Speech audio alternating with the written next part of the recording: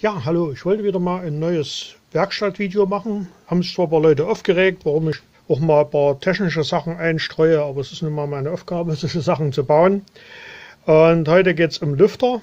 Ähm, ihr kennt ja hier die PC-Lüfter, die überall so drin sind. Das ist einer, der ausgebaut worden ist und dafür sorgen sollte, dass keine Feuchtigkeit hinter ja, Trockenbauwände oder irgendwas kommt. Da werden die dann dahinter gesetzt und die ziehen dort im Prinzip die feuchte Luft raus und nach einer gewissen Zeit verschmutzen die halt, weil halt Staub angesaugt wird. Und die kann man aber einfach reinigen. Man kann sie auch prüfen. Also ich nutze hier so ein Steckernetzteil, dann so ein Adapter von Steckernetzteil auf so eine Klemme, dann von dieser Klemme auf eine größere Lüsterklemme und dort kommt dann an den Pluspol der rote, an den Minuspol der schwarze und das ist die sogenannte Sensorleitung. Da hängt hier ein Hallsensor drin, also in diesem Antrieb, der keine Bürsten hat, sondern elektronisch kommutiert wird und der hat zwei Sensoren.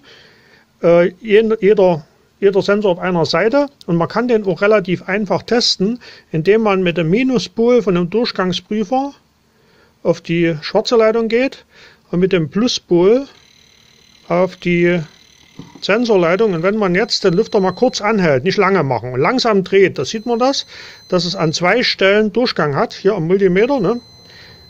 Jetzt ist, jetzt ist durchgeschalten, jetzt ist hochohmisch, jetzt durchgeschalten, hochohmisch. Und da weiß man, dass der Geschwindigkeitssensor funktioniert. Und jetzt hat man einfach nur noch die Aufgabe, das Ding anschalten, dass es also bei 12 Volt läuft. Und dann macht er bitte aber nur bei 12 Volt äh, Ventilatoren hier mit etwas Wasser hier reinsprühen. Äh, die Bewegung verhindert, dass die Feuchtigkeit in die Elektronik läuft.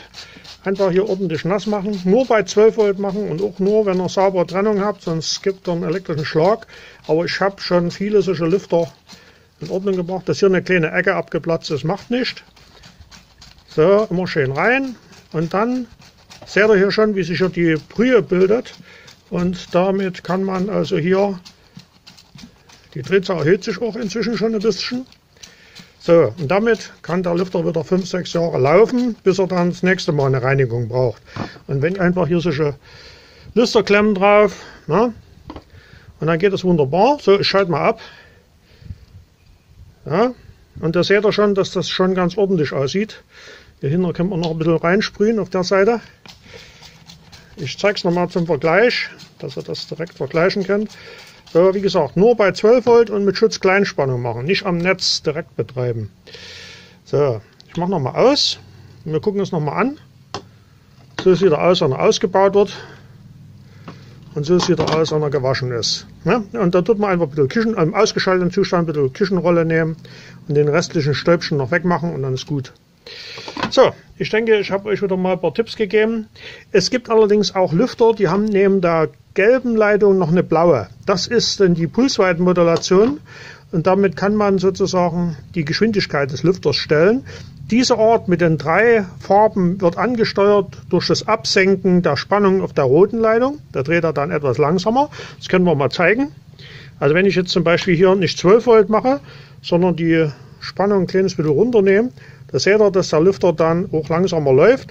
Er darf aber nicht mehr kriegen, also er muss mindestens 5 Volt haben, weil sonst brennt er durch, ne? da fließt ein hoher Strom, weil die Kommutierung dann nicht geht und er muss sicher anlaufen. Ne? Also so bei 5 Volt macht er das. Hier sieht man auch, läuft er gut an. Bitte kontrollieren, dann lieber mal noch eine kleine Zacke höher schalten. Und wie gesagt, hier kann man also relativ schön die Lüfter wieder sauber kriegen. Ich würde nicht empfehlen, die ganzen Lamellen äh, von Hand zu schrubben, äh, weil es einfach die geringe Festigkeit von den Dingern dazu führt, dass es eben brechen tun, die Flügel, und dann am Ende der Lüfter nicht rund läuft. Hier bei dem Wassersprühen kann man nur machen bei 12 Volt Lüftern, ne, ist klar, wenn schon elektrischen Schlag bekommt. So, und immer laufen lassen, bis er trocken ist. So, das war's.